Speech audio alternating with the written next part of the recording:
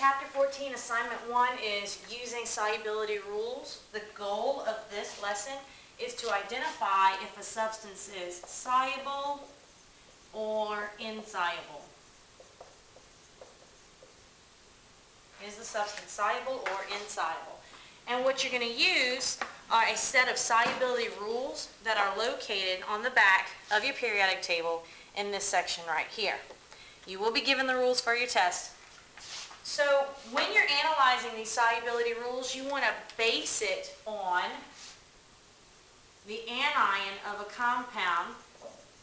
Remember that ionic compounds are made up of a cation and an anion. The anion always comes second, and you want to base your rules on the anion.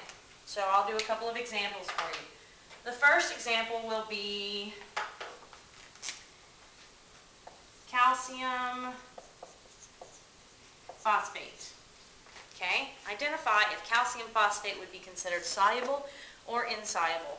So the anion is phosphate. So you look at your solubility rules and rule number six says phosphates are insoluble. So we're going to choose insoluble for this one. They do have some exceptions though, so let's check and see. Except with group 1 and ammonium. So if calcium is in group 1, then it's going to be an exception and that'll make it soluble instead.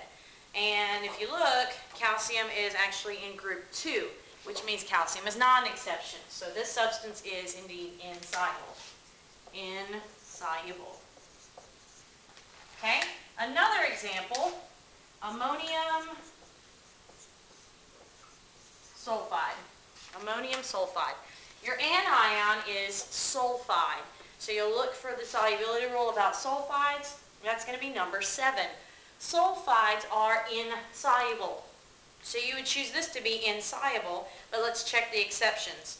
Except with group 1, 2, and ammonium.